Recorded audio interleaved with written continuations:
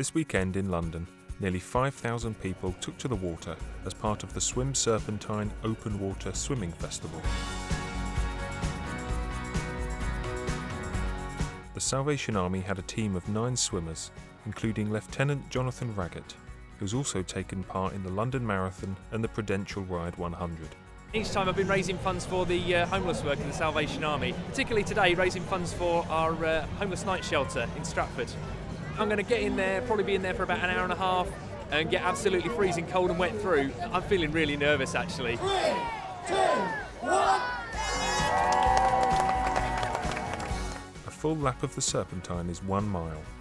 The really enthusiastic swimmers did six miles, but most did one or two. The water temperature was just 15 degrees, cold enough for Jonathan during his two mile swim. Yeah, a bit chillier than I thought, but yeah, good. Really, and really enjoyed it. I did it for the Salvation Army because I really believe in what it is that we do. I can have a hot shower, I've got home to go to, and actually that's not the case for so many people.